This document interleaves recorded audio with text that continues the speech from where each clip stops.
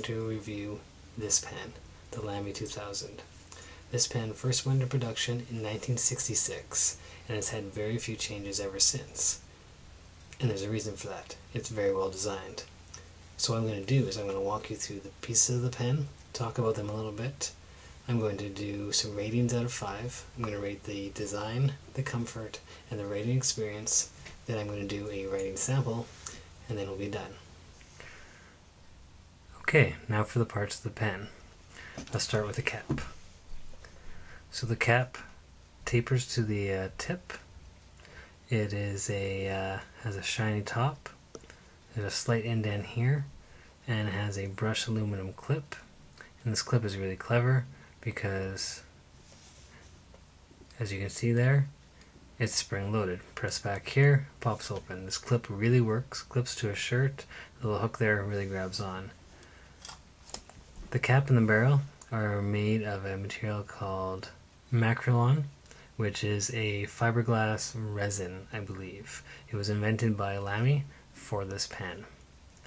Now, this pen was designed in the Bauhaus style, and I'm not going to talk very much about it because I'm not a design expert. Um, Google's your friend. It's really interesting, but the whole concept is uh, form follows function. So figure out what you want to do first and then design for that, which is what the concept was for this pen. So anyways, the barrel tapers down to the end. There's an end cap. This is a piston filler. You'll see that in the writing sample when I ink it up. And that means this holds a lot of ink. End of end cap has a white dot. I'm not sure why it's white. The whole there's not really any white in the rest of the pen, but I actually kind of like that little feature. There's an ink window, which is great because, like I said, a piston filler. If it is, if you have a piston filler, the only way to know if you still have ink is if there's an ink window. Otherwise, you write it dry, and then you find out then. These little white dots you see here are actually little tabs, of metal tabs that the cap clicks to, and it clicks on securely. It can also be posted, and it's actually not an uncomfortable pen to use posted, but I personally prefer it unposted. These tabs you feel when you're writing, um, not in a super unpleasant way, but you're definitely aware that they exist. The section is a brushed aluminum again, and it is um, matching the clip. There's a little ink window, ink uh, filling hole there, and it's a hooded nib which is actually clever because if you have a hooded nib, it means that it keeps the ink on the nib dry, uh, wet so it doesn't dry out, so you can leave it uncapped for longer, pick it up, write, and there should be no hard starts.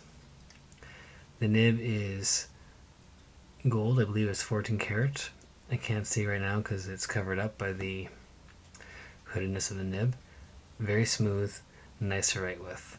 This one, this one here is a medium nib. And those are the parts of the pen. On to the ratings. For design, I give this pen a 5 out of 5.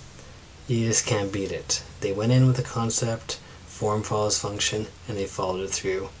It's got a beautiful um, Zeppelin-like design. It looks futuristic And it looks futuristic today in 2014. Can you imagine in 1966? This must have blown people's minds. It is just so well thought out every step of the way. For comfort, I give it a 4. It is not unpleasant. It fits nicely in my hand. These little tabs that hold on the uh, cap, however, you can feel them when you're holding it.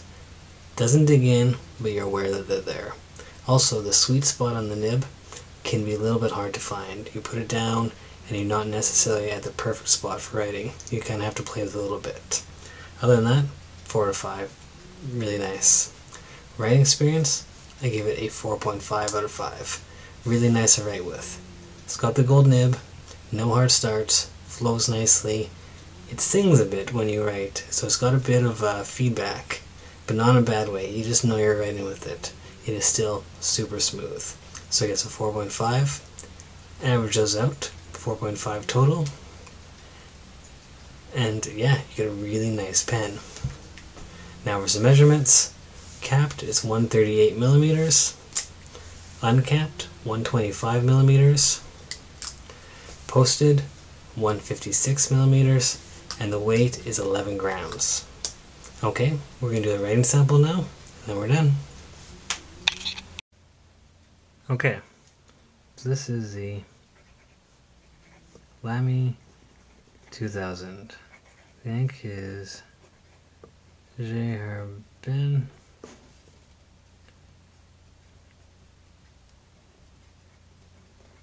Lierre.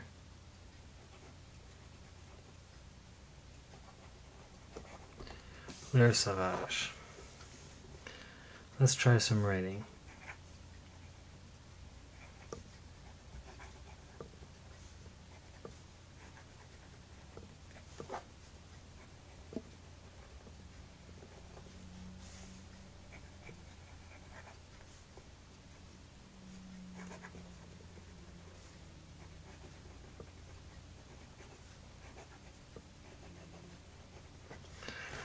Once upon a time, someone said form should follow function and lo.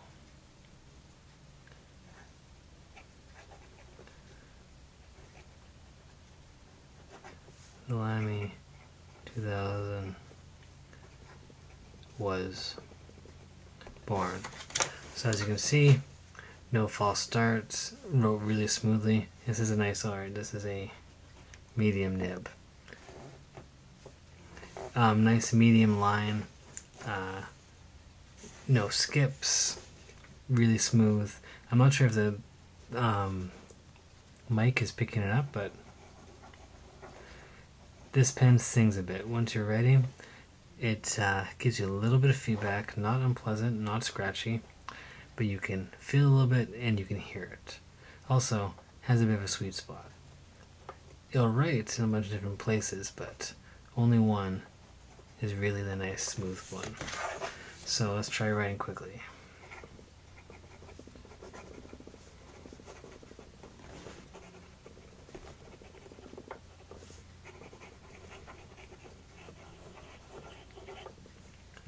No skips, just really nicely falling and up.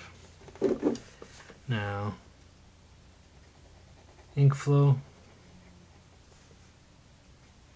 Let's give it a couple seconds. Da, da, da, Very wet. You write something. It's wet. And actually, I like that. I would rather have a nice, thick, wet line that takes a couple seconds to dry and you just have to take some care.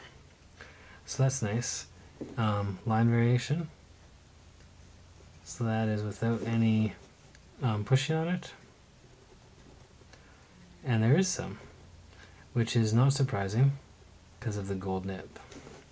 But here's no pressure, of pressure, some pressure, lots of pressure, max pressure, and down. So you can see there's some variation to be had. This is not a flex nib. So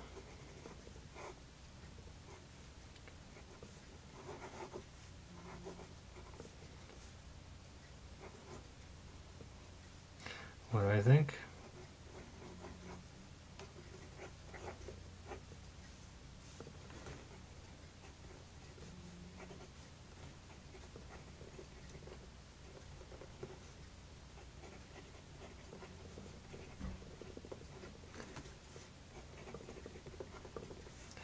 Pretty darn good pen, and I really think it is. Really nice to write with, pretty comfortable to hold.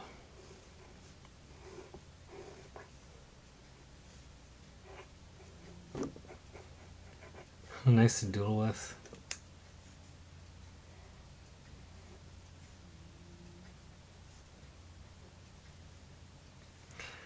Yeah, that's nice. So, I think that is everything. Oh, can you write in the reverse.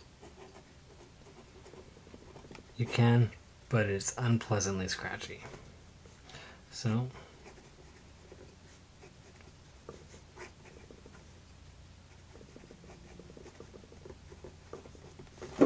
thanks for watching.